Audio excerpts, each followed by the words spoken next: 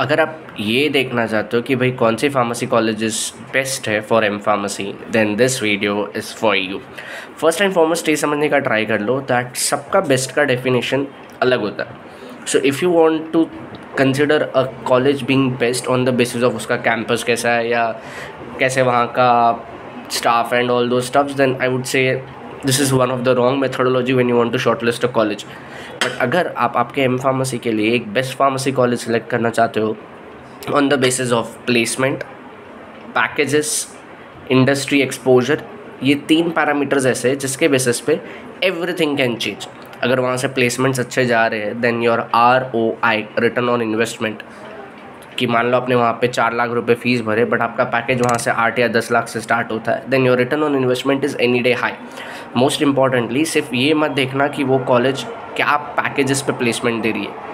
ये भी देखना कि वो कॉलेज कौन से डोमेन में प्लेसमेंट्स दे रही है। अगर वो जो डोमेन में प्लेसमेंट्स दे रही है, वो मेरे इंटरेस्ट का नहीं है। Let's say if I am someone who is interested more into research and development but the college which I am shortlisting जिसको मैं बेस्ट कॉलेज बोल रहा हूँ, मैं वो कॉलेज को उसके प्लेसमेंट के बेसिस पे ही शॉर्ट लिस्ट कर रहा हूँ बट वो प्लेसमेंट आर एन डी में ज़्यादा देता नहीं है। There major placements are into consulting and all those things हैं। Then probably I am again into question mark zone so हमको ये तो देखना है कि पैकेजेस कितना जा रहा है बट वो पैकेजेस कौन से डोमेन में जा रहा है? वो डोमेन मेरे इंटरेस्ट का है क्या? Am I liking that sort of job वो भी एक प्रिलिमिनरी पॉइंट रहेगा। Second most important thing what are the companies hiring from they all over India बहुत सारे कंपनीज़ है ग्लोबल एम भी है। सो so, जो कंपनी वहाँ से हायर कर रही है वो कंपनी हर साल आ रहे हैं कितने स्टूडेंट्स लेके जा रहे हैं क्या पैकेज रेंज है वो पहले कितना पैकेज देते थे from how many years they are coming अब भी कितना पैकेज दे रहे हैं। वहाँ के कोई ना कोई सीनियर्स अब सपोज़ मैं जाना चाहता हूँ नाइपर मोहाली। मैं देखता हूँ भाई नाइपर मोहाली से अट्ठाईस लाख का पैकेज हाईएस्ट पैकेज गया अच्छा वो किसको गया था? कौन से ईयर में गया था? उसके बाद कितने साल सेम पैकेज दिया अट्ठाईस से पैकेज बढ़ा है या कम हुआ है? What are the number of students being hired what is the work culture over there ऐसा तो ज़रूरी नहीं कि हम, तुम सब लोग मंडे टू सैटरडे काम करने के लिए कंफर्टेबल हो। Someone might just like Monday to Friday कोई शायद हाइब्रिड वर्क कल्चर ढूंढता होगा।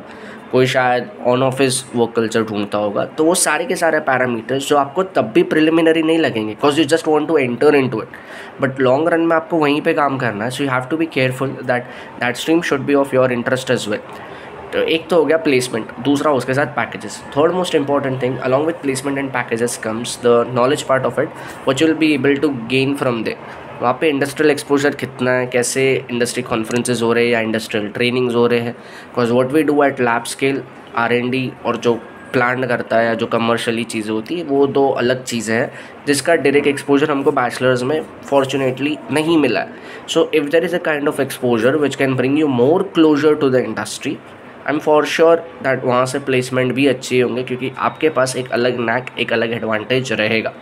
मोस्ट इंपॉर्टेंटली हम में से बहुत सारे लोग N I R F ranking को एक प्रिलिमिनरी पॉइंट देखते हैं when we are selecting college for masters but I want to say very clearly N I R F ranking is not the only point जैसे हमारे Indian system में marking system है। भाई, जिसने ज़्यादा पेपर अच्छा लिखा या ज़्यादा पेज भरा वॉट एवर द केस है उसको ज़्यादा मार्क्स मिलता है कोई टू द पॉइंट लिखे उसको कॉन्सेप्ट आता है बट उसको चीज़ें रटने नहीं आती है तो शायद उसका पॉइंटर ज़्यादा no that does not mean this और दैट कॉलेज इज़ गुड और बैड सबको एक प्रिलिमिनरी क्राइटेरिया मिला है जिसके बेसिस पे उनको स्कोरिंग और मार्क्स एंड ये मिलता है। So don't keep N R F ranking as the only parameter when you are shortlisting your college another most important thing to understand when I'm shortlisting a college for my masters, I have to be very clear what I want to do next. मैं masters के बाद PhD करना चाहता हूँ तो वहाँ से कितने स्टूडेंट्स पास्ट में मास्टर्स के बाद पीएचडी के लिए गए? अच्छा अगर मैं पीएचडी इंडिया में करना चाहता हूँ तो कौन से कॉलेजेस में लोग गए? अगर मैं पीएचडी अब्रॉड करना चाहता हूँ तो कौन से कंट्रीज़ में, कौन से डोमेन में हो गए?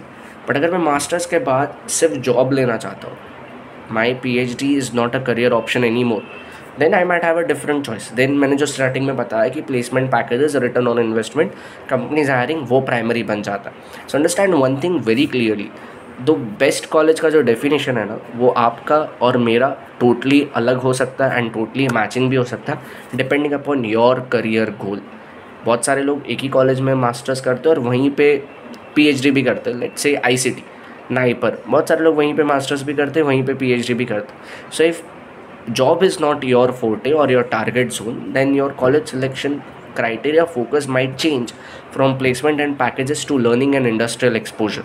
I hope you're getting what I'm trying to say. Most importantly, stay tuned for the next upcoming video where I'll discuss a list of colleges on the basis of my definition of best, which might just match with you. Don't forget to click on subscribe to get updates about the next video. Thank you.